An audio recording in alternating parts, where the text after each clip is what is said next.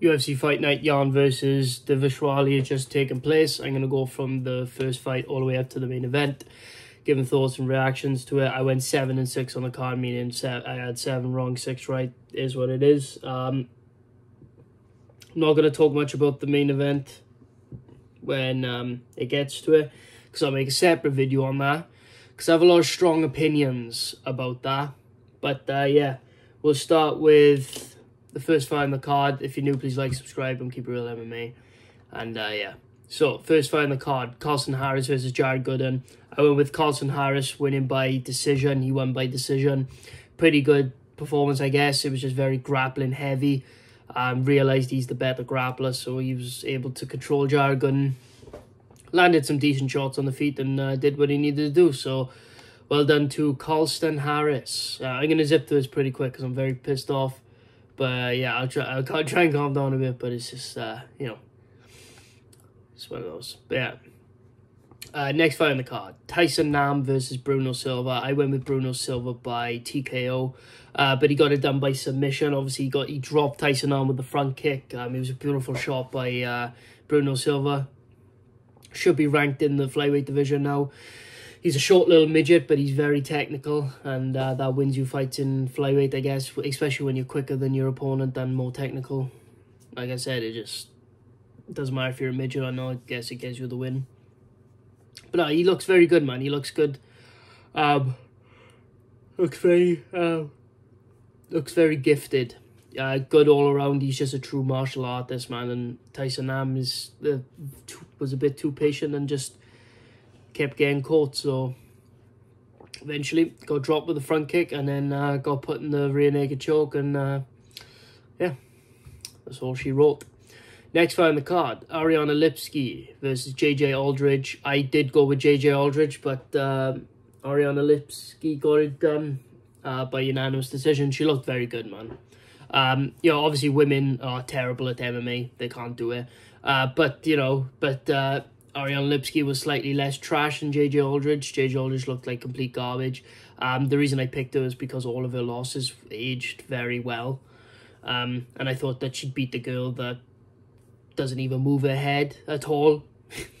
you know, just, you know, so, sorry for having common sense, but, um, is what it is. Uh, you know, the sport makes no sense. It's the worst sport in the world. So, yeah. Um, yeah, just just uh, one of those things. Um, but yeah, Ariane Lipski looked very good. She looked very technical, looked very fast. Uh, doesn't move her fucking head though. Same with JJ Aldrich, don't move their fucking head. But yeah, you know, it's just one of those. But uh, yeah, good job by Ari Ariane Lipski, I guess. And uh, yeah, women's flyweight is fucking terrible. Next fight on the card, Victor Henry versus Tony Gravely. Um, Victor Henry gets it done by split decision. Now, I did pick Victor Henry. I thought Gravely won that fight. Um, I actually know how to score fights here, unlike most of you. Um, yo, I, I, I'm sorry with the attitude, guys. I can't help it. I'm just pissed off about the main event. I fucking broke my fucking sunglasses on accident when I was watching the fight. Um, but yeah, um, I thought Tony Gravely won that fight. I thought he won the third round, first, uh, first and third round. I thought he won it. And I don't think the second round was a 10 for Victor Henry, of course. So I thought Victor Henry should have lost 29 28. But hey, I'll take the robbery decision because we take those. I always have to take the L if uh, if a fighter that I pick got robbed. So I'll happily take the dub if a fighter that I picked got the robbery win in their favour. So yeah. Next fight on the card, uh, Sedriques Dumas versus Josh Fremd. I did go with Dumas, dumbass, but um, 21 Savage clearly can't fucking grapple.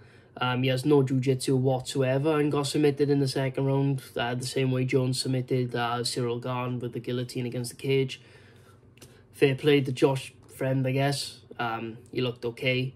Um, the problem is, is uh, men's middleweight is basically the equivalent of it's basically the equivalent of women's flyweight, bantamweight, and uh, featherweight. So, you know, middleweight's a fucking trash. But, I mean, he looked okay.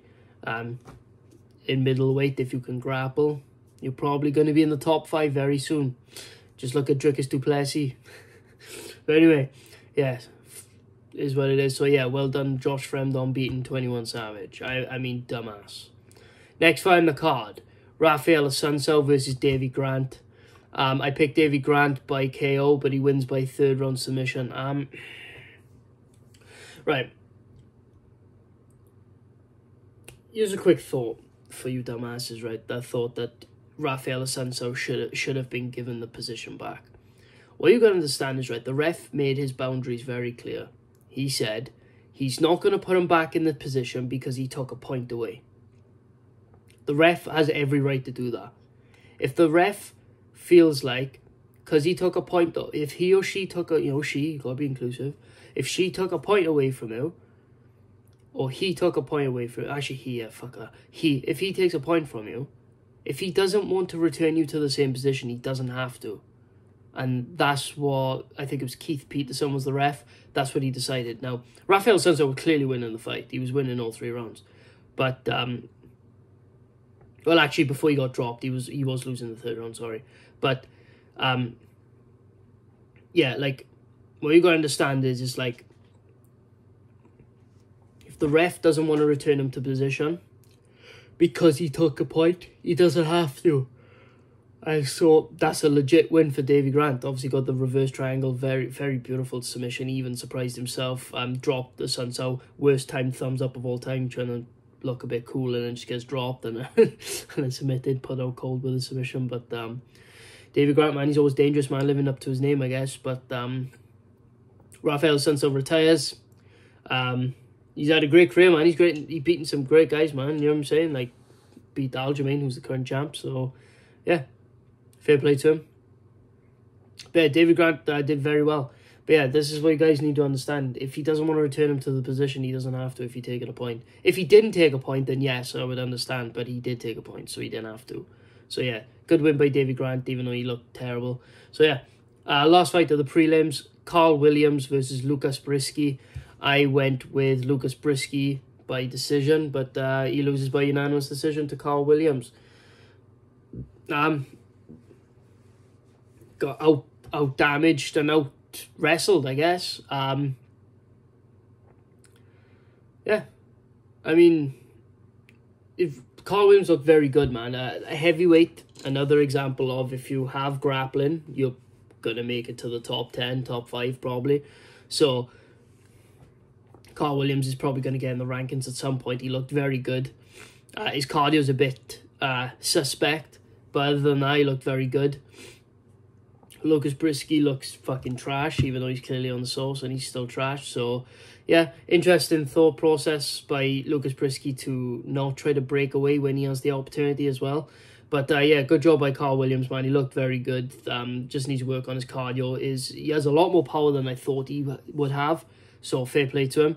Looked very good, and uh, yeah, I look forward to seeing what he can do next. So you guys, you could tell I calmed down a bit now, so it's all good. You know what I'm saying? But um, yeah, but yeah.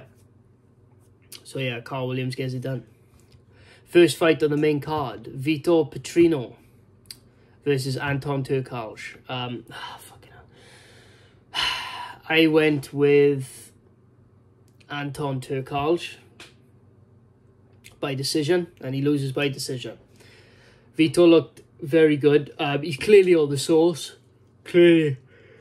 Uh, he's clearly on that Brazilian sauce because you can't push a pace like that and remain having that strength and cardio. It's just not possible without some sort of substance. So, uh, but I mean, he still looked very good, man. His power's crazy. Very good at reversing positions. He's just not very technical at all. But at the same time, man, he, he looked good. He looked very strong. And Anton couldn't really do much to him. Anton did hurt him, or actually, and almost knocked him out with an up kick but Vitor, man, he just was very patient with his shots, landed very good shots, and just basically just reversed any position that Anton was able to get. Even when Anton had a body triangle, Vitor was able to turn it. So good job by Vitor, man. Um, I did think Anton was going to win that, but Anton is shown once again he's fucking trash. And uh, that win from Jailton Almeida hasn't uh, aged the best of it. So yeah. Um, next fight on the card, uh, Mario Bautista versus Guido Canetti. Um, I went, of course, I went with Mario Bautista. He got it done by first round submission. pretty self-explanatory, man. I mean, he just fucking dominated, got the position, got the choke, put him, you know, won the fight. Uh, Mario Bautista needs to get a top 15 now. He needs a top 15 or at least a guy that's going to put him in a top 15 position. He, he's shown now he can beat all the bottom feeders. He beats all the people that are above the bottom feeders. He beats the bottom of the barrel. Uh, now, he just needs to actually uh, really test himself properly uh, since, you know, turning in, you know, in, since having these improvements. So I'd say maybe give him uh, a Jack Shore maybe give him um, someone that's just outside the top 15 or somebody that is in the top 15. That's what I would say. But yeah, good job by Mario Bautista though, man. He looked very good. Very, very good. Um, obviously, landed the Batista bomb on Guido Canetti and then uh, latched it up, you know what I'm saying? the Batista bomb. But yeah, uh, next fight on the card. Saeed Nurmagomedov versus Jonathan Martinez. Um, I went with Saeed Nurmagomedov and uh, he got fucking robbed. Um, he clearly won all three rounds. Um, what can you do? I mean, I don't get mad at the judges anymore, man. It's it, it's a reoccurring theme constantly. Uh, but it is what it is. Uh, I'm not that mad at it because I don't give a fuck about Russian fighters, to be honest with you. But at the same time, it is a robbery, and I will stick up for the fighter who got robbed, regardless of who they are. Um, so yeah, um, it should have been Saeed's win, but it is what it is. Um, Jonathan Martinez, not not the, it was a very close fight, but Saeed clearly edged the rounds. Like he was the he was he was the one landing the more damaging shots in the pocket, and he was the one pushing forcing the grappling exchanges. But it is what it is, man. I mean, both men looked okay, so yeah, but uh, it's not not the best look. But yeah, anyway. Um, next fight on the card, Nikita Krylov versus Ryan Spann. I went with Nikita Krylov by TKO, I think I said, in the third round or the fourth round. Um, but he gets it done by first round submission. Um, got the triangle on Spann and Spann tapped. Uh, Nikita Krylov looked very fucking good, man. Looked very fucking good. Um, good chin on him too, man. I mean, the shots he was taking from Spann and Spann suddenly grew a chin as well because he was taking pretty good shots as well. Um, yeah, Krylov looked very fucking good, man. Like he looked very, very fucking fast. Looked very hungry for it. And eventually, as they were rolling about, and you know, I mean, obviously they both got on the ground. They both got good jujitsu, good wrestling, and and Krylov was able to um, find his way to uh, getting that submission off the bottom. Um, Krylov looked fucking good. I, I mean, what I'd say now is is that Krylov should probably fight maybe like uh, the winner of Smith. Uh, I say maybe fight the winner of Smith and um, Johnny Walker oh, and, and Johnny Walker. Maybe ah yet again though he's already fought Johnny Walker. He beat Johnny Walker. Um, if Smith wins, he should fight Smith. So that's that's what I would say. So yeah, but yeah, good job by Krylov, man. He looked very good, very fucking good. Next fight in the card, the core main event: Alexander Volkov versus Alexander Romanov. I did go with Romanov, but he got TKO'd in the first round, and I picked him by submission in the first round, um, or TKO, one of the two. Um, he looked off, man. He looked uh, not to take anyway anything away from uh, Volkov, Volkov, obviously, but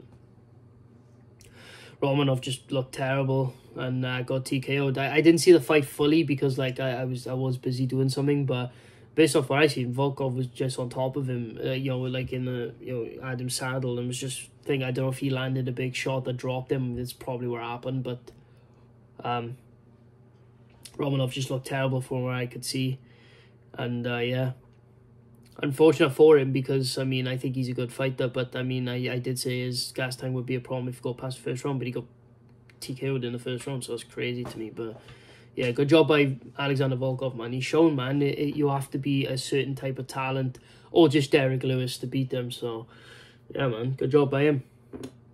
Next fight on the card, the main event. Petr Yan versus Merab Divish Divish Kant. Um, I went with Petr Yan and uh, the Goblin got it done by uh, 50-45. Um, I mean, Merab is the biggest failure of the bantamweight division. Um, just an absolute fucking failure. Um, 22%. He went 11 of 49. 11 of 49 on takedowns. And the takedowns that he got, by the way, Yan was popping straight back up. um, I'm not gonna, you know, I mean, I'm gonna make a separate video on it, so I ain't gonna go too much into detail. But yeah, Merab got it done. He looked very good. Um, still a cuck, you know, refuses to fight Aljamain because he's a fucking pussy and refu- and just refuses to have his own career and just is a fucking cretin and a disgrace and should be cut from the UFC. But you know, I leave that for the video. So anyway, guys, thanks so much for watching. I really appreciate you all. Thank you so much. Um, if you're new, please like, subscribe. As you can tell, I'm keeping real MMA. I'll see you guys in the next video. Peace.